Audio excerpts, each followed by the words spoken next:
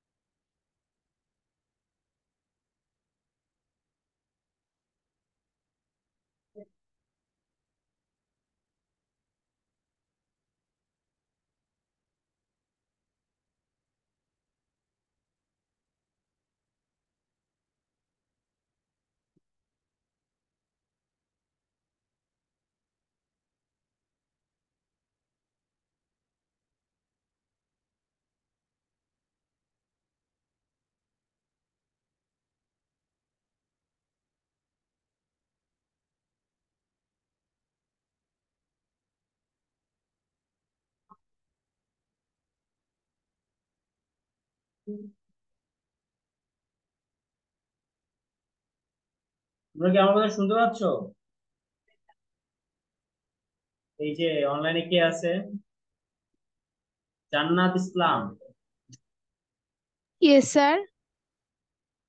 আমার কথা শুন- শোনা যাচ্ছে? Yes, sir.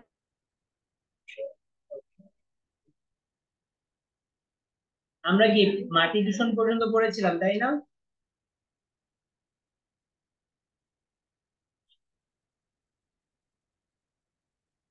মাটি দূষণ পর্যন্ত পড়েছিলাম না আমরা?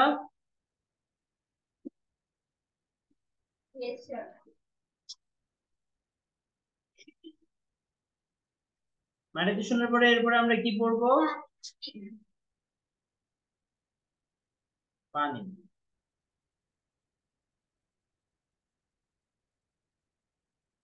দেখো যে পানি করতে গেলে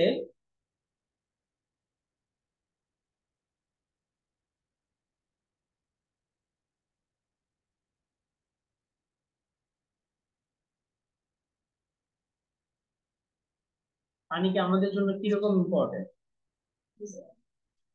পানির গুরুত্ব কতটুকু?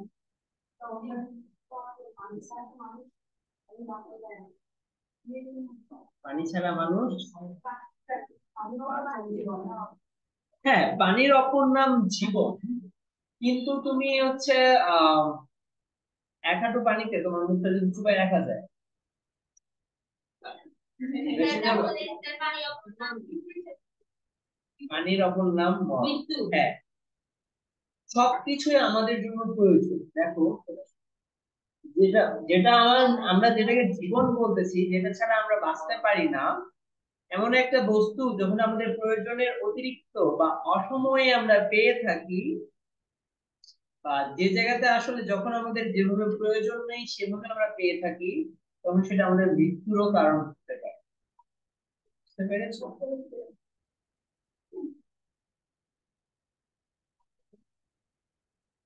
আর যখন আমরা পানিটাকে যখন যেভাবে প্রয়োজন আমরা ততটুকুই ব্যবহার করব, ঠিক আছে?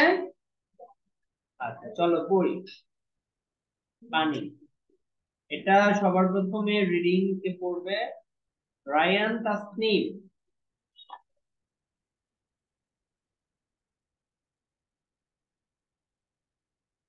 রায়ান তাসনিম?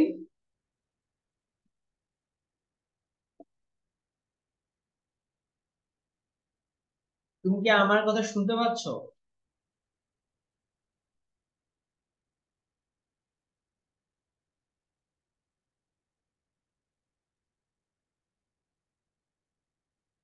জান্নাত। Yes, sir. তুমি রিডিং করো। পানি। পানির অপর নাম জীবন। সমস্ত ধরনের প্রাণের বেঁচে থাকার জন্য পানি অপরিহার্য। পৃথিবীর মোট পানির খুব সামান্য অংশই মিঠা বা স্বাদু পানি।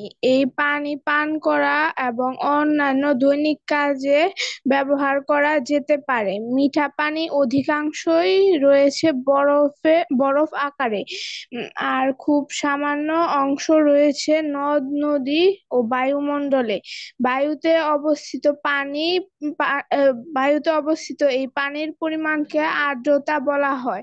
তবে পরিমাণে সামান্য হলেও আবহাওয়ার বৈশিষ্ট্য নির্ধারণে বায়ুমণ্ডলে অবস্থান করা পানি বা জলীয় বাষ্প অনেক গুরুত্বপূর্ণ। আবার নদ, নদী, খাল, বিল, হ্রদ ইত্যাদিতে যে পানি থাকে তা ভূমি রূপে পরিবর্তনে বিশেষ ভূমিকা রাখে। তোমরা লক্ষ্য করলে দেখবে বর্ষাকালে বন্যার সময় মাটিতে পলির স্তর পড়ে এই এই মাটি ফসল উৎপাদনের জন্য গুরুত্বপূর্ণ।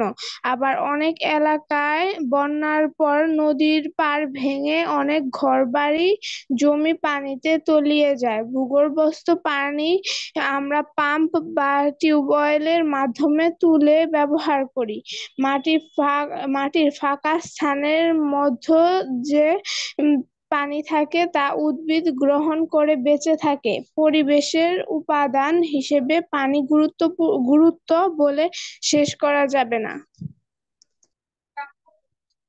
এখানে কিন্তু মিঠা পানি চারটি রয়েছে বরফ আকারে আর খুব সামান্য রকম আমরা তো বাইরে নিই স্যার মিঠা পানি থেকে বরফ আকারে সমুদ্রে বলতে হবে সমুদ্রের সাথে সেটা মিঠা পানি মিশতে হবে। মিশে যায় যে লবণাক্ত পানি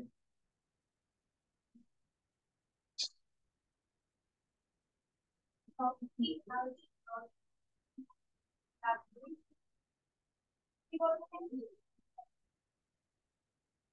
নদ নদী খাল বিল হ্রদ ইত্যাদিতে যে পানি থাকে তা ভূমিরূপের পরিবর্তনের বিশেষ মানে ভূমির মধ্যে সেটা পরিবর্তিত হয়ে আসে। ওয়াটার সাইকেল তাই না? পানি চক্র?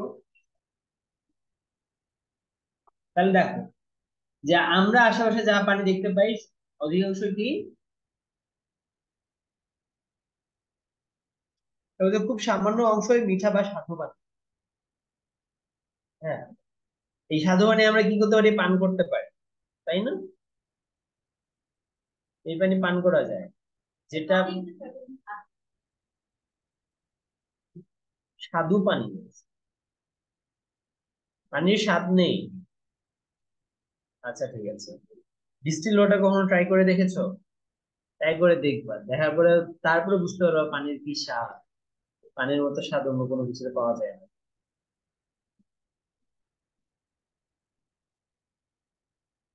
বুঝতে পেরেছ?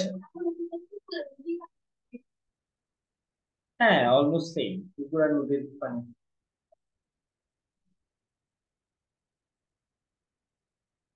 এখানে দেখো যে তার মানে তাহলে কি? সামান্য অংশ কি পানি? বলো? এই আমরা তাহলে কোন পানি পান করতে পারি? মিঠা বা স্বাদু পানি পান করতে। ঠিক আছে? মিঠা পানির অধিকাংশ কি আকারে রয়েছে? আর খুব সামান্য অংশ কোথায় আছে? বায়ুতে পানিটা কি কি অবস্থায় থাকে? জলীয় বাষ্প অবস্থায় থাকে। এবং এটাকে বলা হয় আর্দ্রতা। কতটুকু পানি আছে তাকে কি বলা হয়? আর্দ্রতা। এই যে, তাহলে আবহাওয়ার বৈশিষ্ট্য নির্ধারণের জন্য বায়ুমণ্ডলে অবস্থান করা পানি বা এই যে এখানে বলে দিছে, জলীয় বাষ্প অনেক গুরুত্বপূর্ণ। বুঝতে পেরেছ? তোমরা লক্ষ্য করলে দেখবে যে কি, কোন সময়, কোন কালে হচ্ছে মাটিতে পলির স্তর জমে? বর্ষকালে লিখতে, যাই হোক, এটা হচ্ছে বর্ষাকালে ঠিক আছে?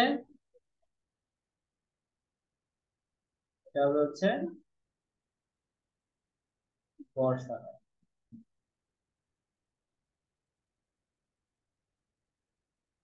এই পলিটা কি আসলে?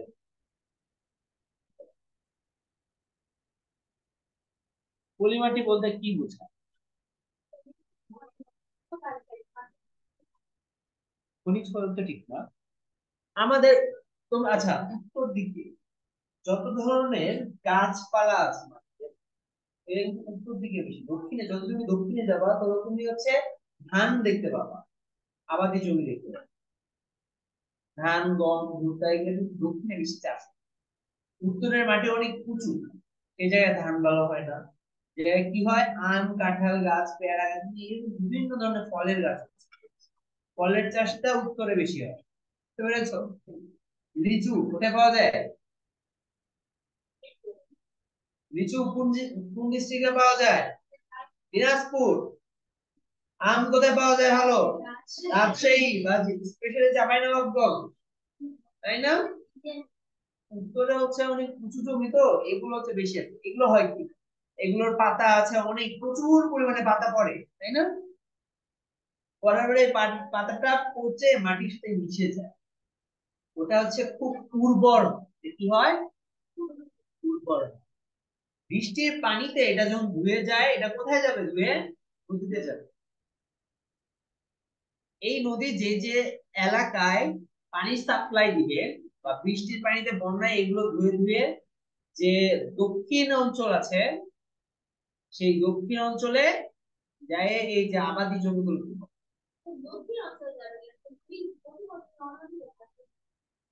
নদীর পানি আগে হচ্ছে সেচ যখন ছিল না তখন হচ্ছে এই নদীর পানি দিয়ে সেচ দেওয়া নদীর পানি বিভিন্ন জায়গায় যায় পুকুরে কাট- কাটে কাটে কাটে কাটে নিয়ে। ঠিক আছে?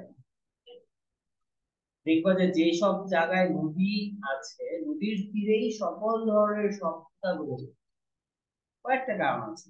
এক যে এর যোগাযোগ ব্যবস্থা সুন্দর নদীপথে যোগাযোগ ব্যবস্থা ভালো হবে। কারণ এখানে রাস্তা তৈরি করার কিছু নেই নৌকা বানাই নিলে চলে যেতে হবে। কিন্তু স্থল পথে তোমাকে রাস্তা তৈরি করতে হবে আগে তারপর তুমি যানবাহন চালাইতে পারবে। নৌকার উপরে উঠলে এমনি চালানো শিখেছে তোমার মতো কিছু বান্ধব থাকলে সাঁতার কেটে যাবে।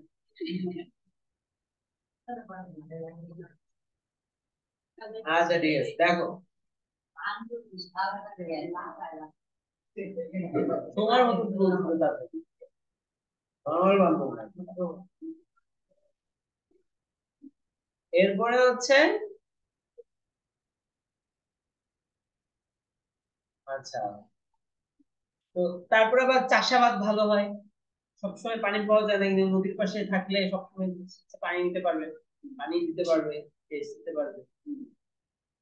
এইসব কারণে বিভিন্ন নদীর তীরে সভ্যতা গুলো ওঠে। ঠিক আছে? তাহলে, এরপরে দেখো যে আর কি আছে? যে এই মাটি ফসল উৎপাদনের জন্য অনেক গুরুত্বপূর্ণ, ঠিক আছে? আবার কি হয়? অনেক এলাকায় বন্যার সময় নদীর পাড় ভেঙে অনেক ঘর বাড়ি জমি পানিতে তলিয়ে যায়। পানি সবসময় যে ভালো দাম, এটা খারাপ অবস্থা। আমরা এই যে ভূগর্ভস্থ পানিটা কীভাবে তুলি? কিসের মাধ্যমে? টিউবওয়েল এখন ওটাই। পাম্পটা হচ্ছে ডিজিটাল ভার্সন টিউবওয়েল দেখো উদ্ভিদ কোথা থেকে পানি নেয়? আমরা না অনেক গভীর পর্যন্ত পাইপটা বসাই দিয়ে এখান থেকে পানিটা নেই উদ্ভিদ কোথা থেকে পানি নেয়? এই যে বালির ফাঁকে ফাঁকে যে বা মাটির কোনায় কোনায় যে পানিটা থাকে। তাহলে যেসব তোমার হচ্ছে যেসব উদ্ভিদের বেশি পানি প্রয়োজন হয়, তারা অবশ্যই ইয়াতে মরুভূমিতে তাদের কোনো গাছ জন্মায় না। কেন? মরুভূমিতে বালি, কি মাটি? বেলে মাটি, কি মাটি? তারা কি পানি ধরে রাখতে পারে? কেন পারে না? পাকিস্তান অনেক বেশি মানে তারা পারে না কারণ তাদের কণাগুলো অনেক বড় বড়। তাদের কণাগুলো অনেক বড় বড়। এই জন্য পানি ধরে রাখতে পারে। তাহলে দেখো, এই যে মাটির যে ফাঁকা স্থান আছে, এখানে যে পানি থাকে, তা কে গ্রহণ করে উদ্ভিদ গ্রহণ করে বেঁচে থাকে। বুঝতে পেরেছ? গুরুত্ব অপরিসীম ঠিক আছে? এখানে কি দেওয়া আছে? Benefits of rain water harvesting আমাদের রেইন ওয়াটার হারভেস্ট করতে হবে। দেখো, এই যে বাড়ির মধ্যে বৃষ্টি পড়লে পানিটাকে এনে জমা করে রাখে। এটা কি ডিক্রিজেস আর বিল ঢাকায় যারা থাকে তাদের পানিও কিনে নিতে হয়। পানির বিল দিতে হয়। কনজার্ভ ওয়াটার পানি ধরে রাখে। Lower demand on fresh water resource fresh water মানে কি?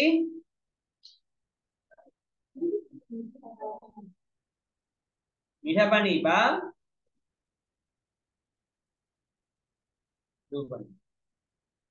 তো এই যে এটার ডিমান্ড কমে যায়, কারণ এই যে এটার পানিটা তো পড়তেছে আমাদের বৃষ্টির উপর থেকে। এটা কি লবণাক্ত? না। এই পানিটাকে আমরা একটু প্রসেস করলে আমরা খুব সুন্দর ব্যবহার করতে পারি। বুঝতে পেরেছ? আর সয়েল ইরেশন হয় কেন? সয়েল ইরেশন হয় যে পানির লেয়ার নিচে নামে যায়, তখন আর মাটির কণাগুলো নিজেকে ধরে রাখতে পারে না। ফেটে যায়, ভেঙে যায় সয়েল ইরেশন বুঝতে পেরেছ? সয়েল ইরেশন মানে কি? ভূমি ধস মাটি ক্ষয়।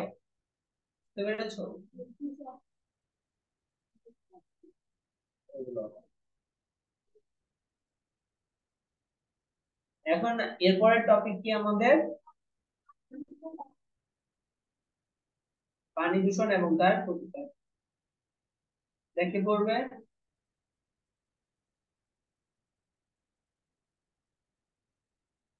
জোরে। তুমি না তুমি বসো এই, পিছনে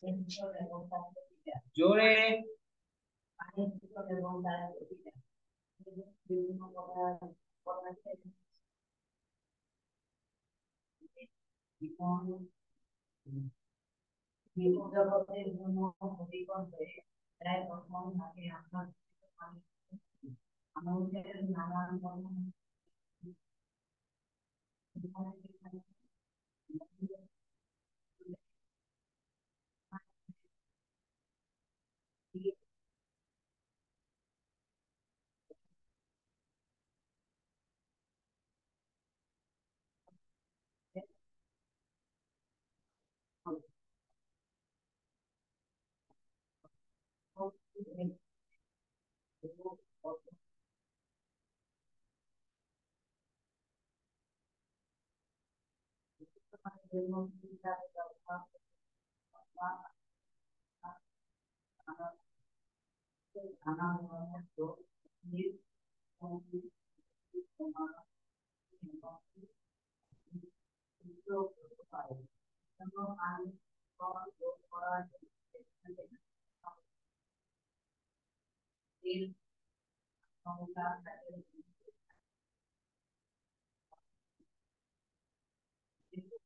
জন্য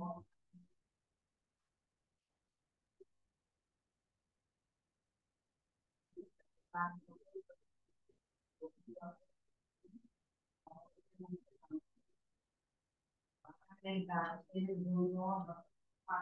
হয়ে প্রায়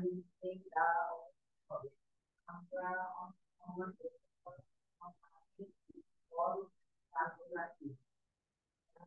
আপনার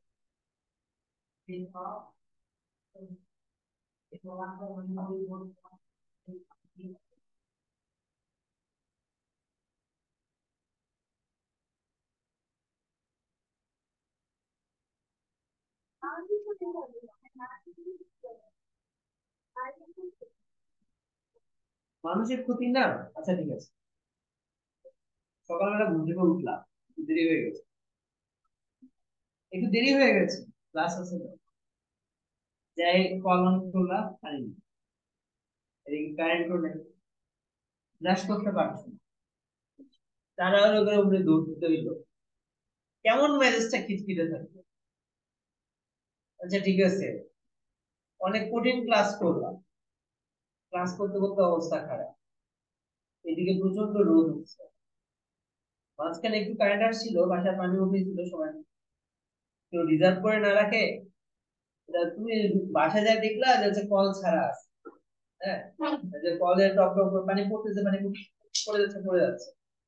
বাসায় যা দেখলাম তারা করে গোসল করার জন্য ইয়ে করলা কারেন্ট তারে মনে চলে গেছে লাস্ট ড্রপ পানি পড়ে গেল। তখন তোমার কেমন মনে হবে? তোমার যে ভাইটা বা বোনটা যে কলটা ছেড়ে রাখছিল, তারে তোর ইচ্ছা মতো ফিরে তোমার রাগ আসবে। শোনো না আসবে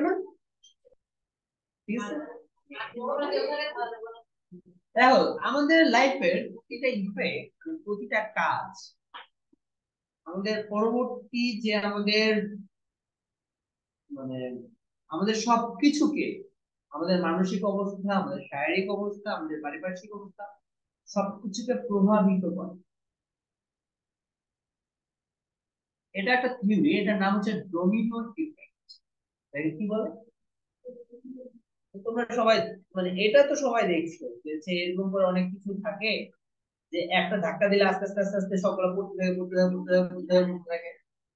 তাই না? এটা কি বলা হচ্ছে মাঝখান থেকে দুইটা সরায় নাও, আর বাকি করো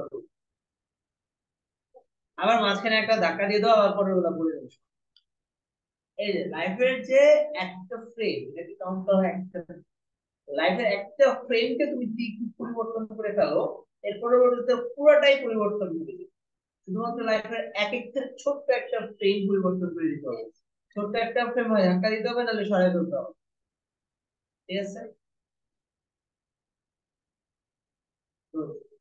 আজকে করছি, করি এরপর থেকে করতে না। তুমি যে এই যে এখন একটা কাজ করতেছো, এখন সময় অপচয় করতেছো পানি অপচয় করতেছো এটার ইফেক্ট তোমার মতো করবে life remains in the পেরেছ?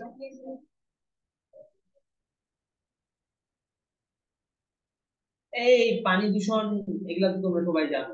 নানা কর্মকাণ্ড হলে দূষিত হয়। কীভাবে দূষিত হয়? সার বীজ দূষিত হবে? ময়লা আবর্জনা দূষিত হবে?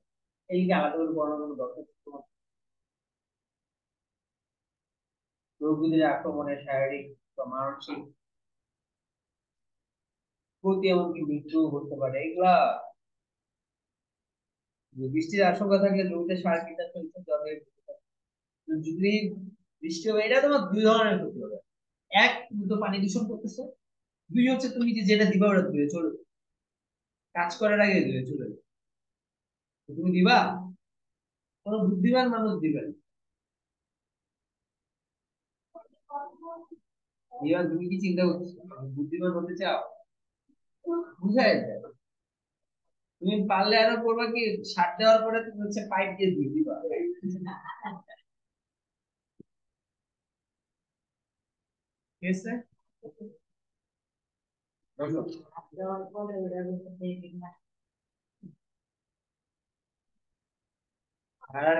তো আলাদা? পরে ওইটার উপর দিয়ে কীটনাশক তার দেওয়া তার আগুন দিয়ে দেবে। তুমি সার দিয়ে ওটার উপর বাতি খাইতে আরে ঠিক আছে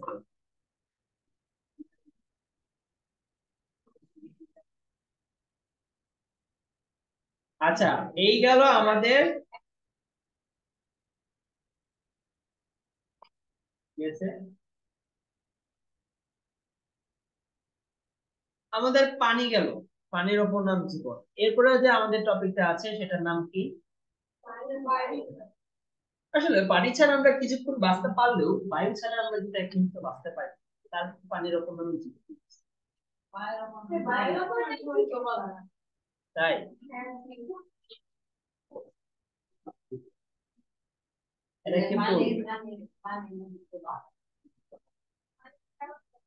দাঁড়াও। দাঁড়াও দাঁড়াও, আপনাকে বলতেছি, দাঁড়ান আপনি। একদম আপনি বলবেন মানে আপনি এটা করবেন।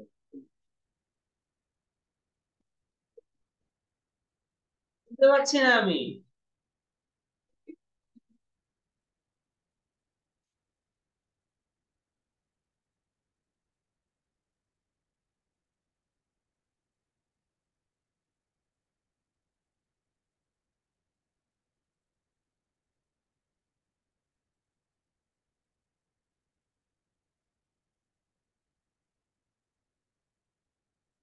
Bye.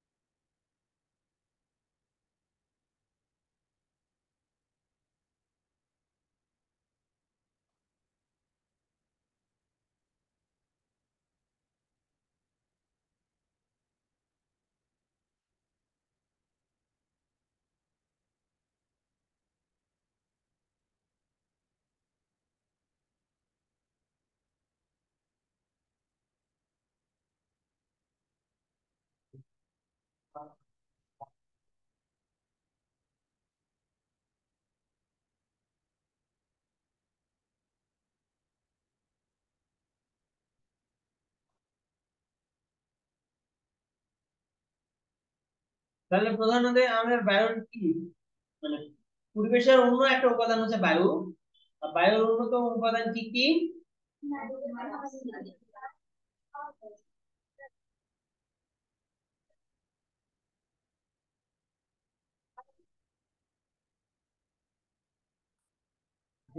বায়ুকে কি জলীয় বাষ্প সহ বায়ু জলীয় বাষ্প সহ মানে বায়ুর আর্দ্রতাটাকে যদি আমি বাদ দিই, ওটাকে যদি কাউন্ট করি, ওটাও তো একটা, আমি যদি মনে করো হিসাব করতে যাই, তো বায়ুর মধ্যে তো জলীয় বাষ্পটাও আছে। সেটাকে তো আমার বাদ দিয়ে কাউন্ট করতে হবে, কতটুকু আছে? ঠিক আছে?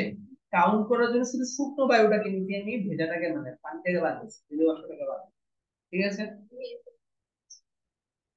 এটা কত পার্সেন্ট নাইট্রোজেন আটাত্তর পার্সেন্ট আর আর কতটুকু জলীয় বাষ্প থাকতে পারে?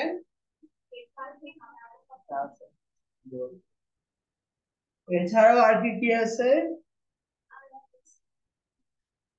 Iron, carbon dioxide ethane ozone hydrogen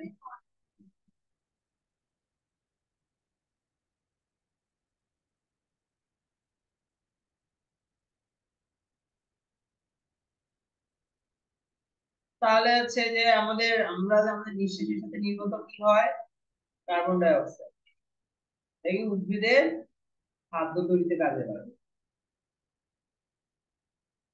মানুষ যতটুকু অক্সিজেন নেয়, ততটুকু কার্বন ডাই অক্সাইড ছেড়ে দেয় না। অক্সিজেন কার্বন ডাই অক্সাইডের পরিমাণ সমান থাকে।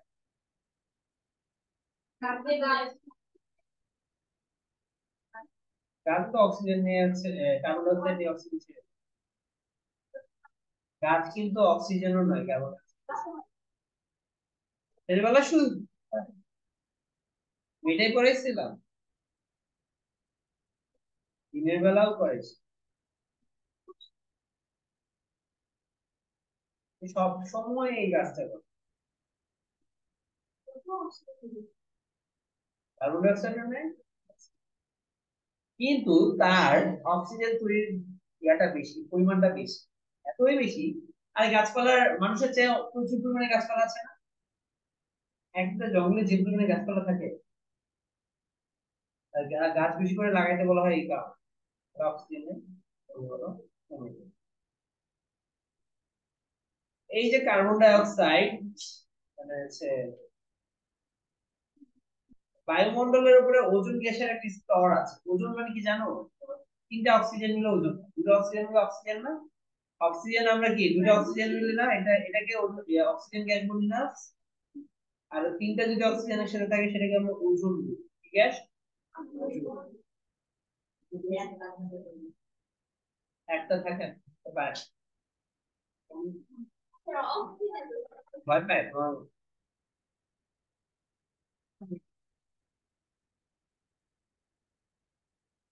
তুমি কি টয়লেটে যাওয়ার সময় সাইকেল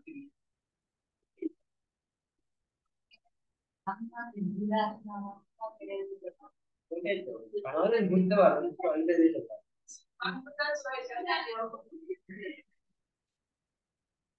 আচ্ছা দেখো কোথায়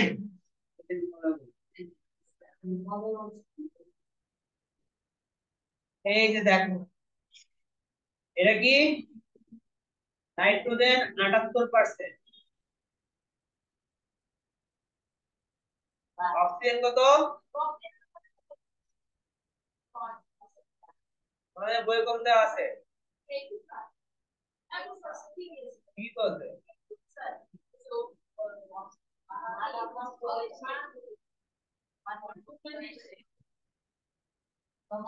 নাইট্রোজেন কি পরিমাণে কতটা নাইট্রোজেন এইটুকু হচ্ছে অক্সিজেন আর বাকি গ্যাসগুলো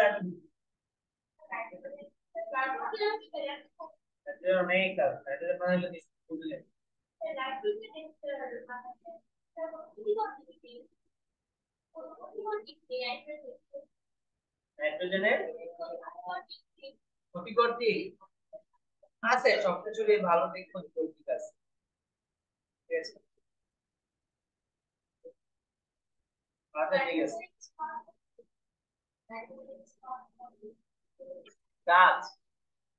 সবচেয়ে প্রিজারভেটিভ হিসেবে কাজ করে, উদ্ভিদের নিউট্রিশন হিসেবে কাজ করে। মাইন্ড করো বায়ু দূষণ করো, উঠে পড়ো।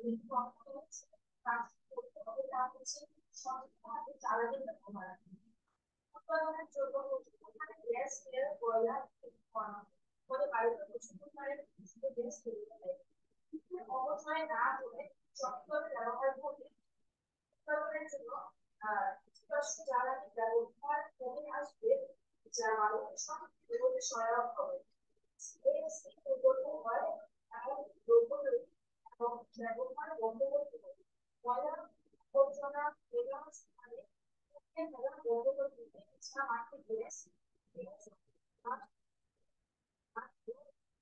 আবহাওয়া থাকতে পারে জরুরি হয়ে আসবে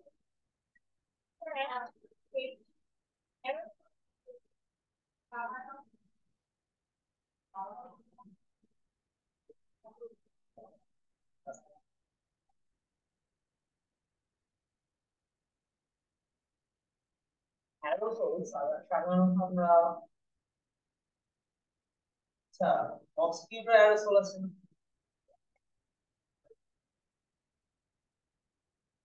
হচ্ছে একটা যে একটা গন্ধ বা সুগন্ধ যুক্ত পদার্থ যেটা বাতাসের মধ্যে ভেসে থাকতে পারে। বাতাসের কণার মধ্যে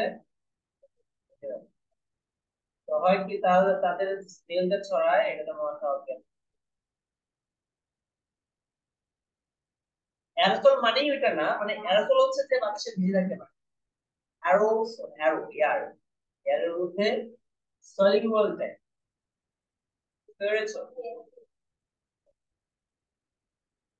দেখো এখানে কার্বন মনোক্সাইড একটি বিষাক্ত গ্যাস, কার্বন মনোক্সাইড কোথা থেকে বের হয়?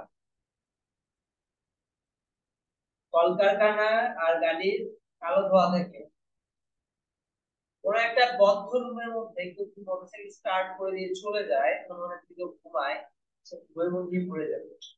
কারণ কার্বন মনোক্সাইড নীরব ঘটক বলা হয়। কার্বন মনোক্সাইড কি বলা হয়? নীরব বুঝতে নীরব ধাতব মারা যাওয়ার সময় মানুষ চিল্লা আল্লাহ করবে না কান্নাকাটি করবে না।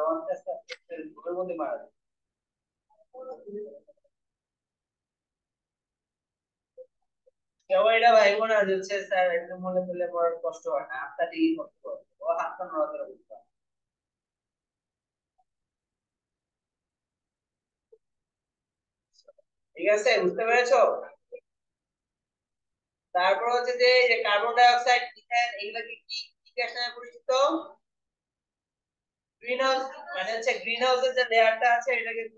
নষ্ট করে তার জন্য এগুলোকে হাউস গ্যাস নামে পরিচিত। ঠিক আছে? এগুলো কোথা থেকে নির্গত হয়? অ্যারোসল স্প্রে রেফ্রিজারেটরের মধ্যে থেকে সিএফসি আছে ক্লোরোফ্লোরোকার্বন এই যেখানে দেওয়া আছে ক্লোরোফ্লোরোকার্বন এগুলোই হচ্ছে ক্ষতিগ্রস্ত করে কাকে ক্ষতিগ্রস্ত করে? ওজোন স্তরকে ক্ষতিগ্রস্ত করে। যার ফলে কি কি প্রবেশ করে? অতি বেগুনি রশ্মি প্রবেশ করে, বুঝতে পেরেছ? আর দাবানল আগ্নেয়গিরি উৎপাদ এগুলো হচ্ছে, দাবানল হচ্ছে পাহাড়ের মধ্য থেকে দেখবেন যে হচ্ছে এরকম আছে। এবার দিয়ে হচ্ছে ইয়া বের হচ্ছে ম্যাগমা সহ গলিত পদার্থগুলা বের হয়ে আসছে। হ্যাঁ